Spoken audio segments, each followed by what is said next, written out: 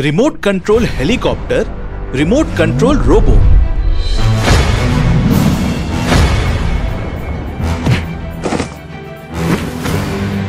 एक शहर में राकेश नाम का एक चोर रहता था। सब लोग उसे देखकर डरते थे। अब हर दिन चोरियाँ करना बहुत मुश्किल हो रहा है। पुलिस टेक्नोलॉजी के ज़रिए चोरों को आसानी से पकड़ रही है। इसीलिए मुझे भी टेक्निकली अपडेट होना चाहिए। टेक्नोलॉजी को चोरी करने के लिए उपयोग करना चाहिए। अभी जाकर साइंटिस्ट से मिलता हूँ। इस तरह साइंटिस्ट शर्मा के पास जाता है। राकेश को देखकर शर्मा बहुत डर जाता है। अरे साइंटिस्ट डरो मत लूटने नहीं आया हूँ। तुम्हारी मदद चाहिए। अ, क्या मेरी मदद चाहिए? हाँ मुझे एक रिमोट कंट्रोल हेलीकॉप्टर रोबोट बना कर दो। इसके लिए जितना पैसा चाहिए, उतना दूँगा। नहीं नहीं, चोरों की मदद करना जुर्म है। ये बात अगर पुलिस को पता चली तो मुझे अरेस्ट करके ले जाएँगे। अगर तुमने मेरी बात नहीं मानी तो तुम्हारी खैर नहीं। सोच लो। ठीक है ठीक है। जैसा तुम कहो, वैसा ही करूँगा। शाबाश। साइंटिस्ट तुरंत काम शुरू करो। ठीक है, इस तरह शर्मा जल्दी जल्दी रिमोट कंट्रोल हेलीकॉप्टर रोबोट को बनाता है।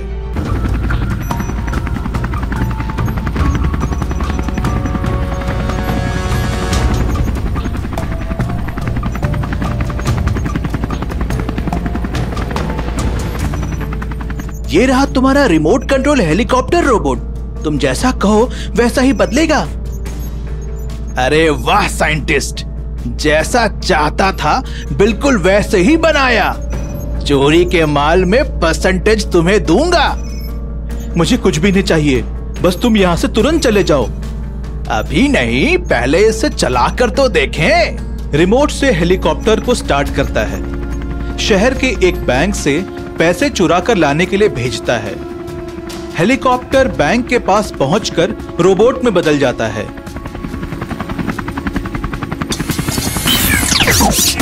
यह देखकर सभी लोग डर जाते हैं। रोबोट सारे पैसे थैले में भरकर बाहर निकलकर हेलीकॉप्टर में बदलकर राकेश के पास पहुँचता है।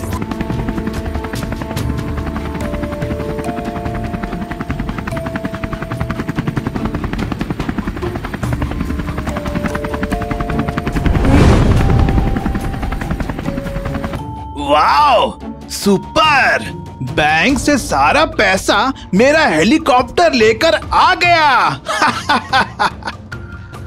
अभी मुझे कहीं जाने की ज़रूरत नहीं। आराम से एक रहस्य प्रांत में बैठकर चोरिया कर सकता हूँ।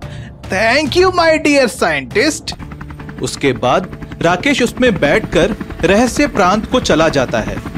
फिर वहाँ राकेश शहर में बहुत सारे चोरियाँ करते रहता है।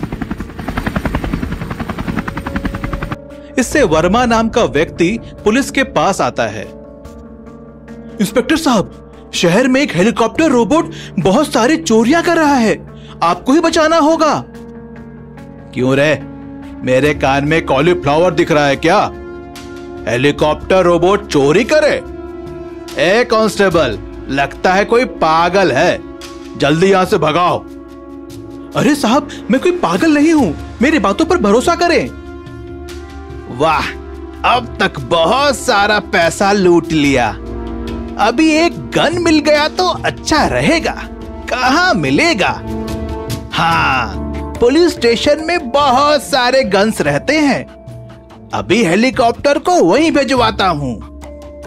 इस तरह रिमोट हेलीकॉप्टर को स्टार्ट करते ही वह पुलिस स्टेशन पहुँचता है। इंस्पेक्टर उसे देखकर, ए हवलदार, बी अलर्ट। लगता है हमारे स्टेशन कोई बड़ा ऑफिसर आ रहे हैं। जैसा आपने सोचा, उसमें कोई नहीं रहेगा। साहब, वही चोर हेलीकॉप्टर रोबोट है। इस तरह कहते ही रहता है, इतने में हेलीकॉप्टर स्टेशन के आगे रुककर तुरंत ही रोबोट में बदल जाता है।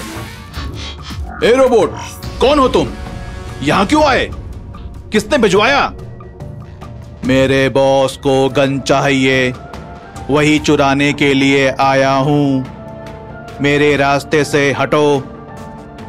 इस तरह इंस्पेक्टर को हवा में उड़ा देता है। फिर बाद में गन्स को उठाकर राकेश के पास पहुँचता है। बाप रे!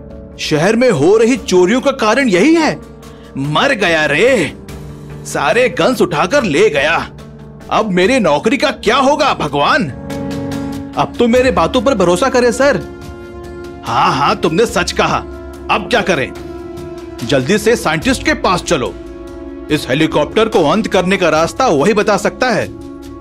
इस तरह साइंटिस्ट शर्मा के पास जाते हैं। साइंटिस्ट सर, एक हेलीकॉप्टर रोबोट हमारे शहर में लूट मचा रखा है।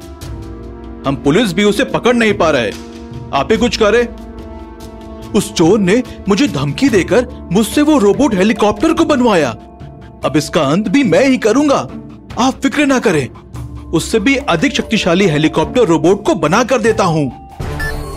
इस तरह शक्तिशाली हेलीकॉप्टर रोबोट को बनाता है।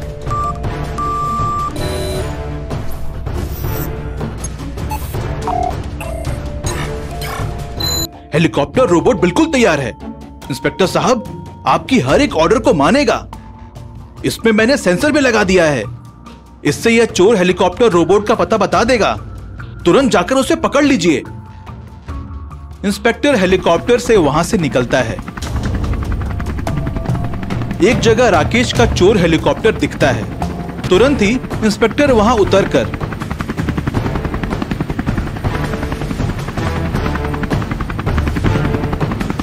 ए चोर कहीं के, मुझसे बचकर नहीं जा सकते। तुरंत सरेंडर हो जाओ। मैं और सरेंडर हो जाऊँ। ये नहीं हो सकता, इंस्पेक्टर। तुम्हें कितना पैसा चाहिए, उतना लेकर यहाँ से चले जाओ।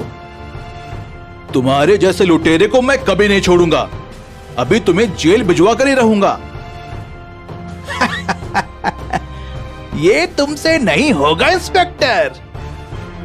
Helicopter robot, catch that thief. इस तरह हेलीकॉप्टर रोबोट में बदल जाता है। फिर राकेश भी अपना रिमोट कंट्रोल हेलीकॉप्टर को रोबोट में बदलता है। दोनों रोबोट के बीच एक भयंकर लड़ाई होती है।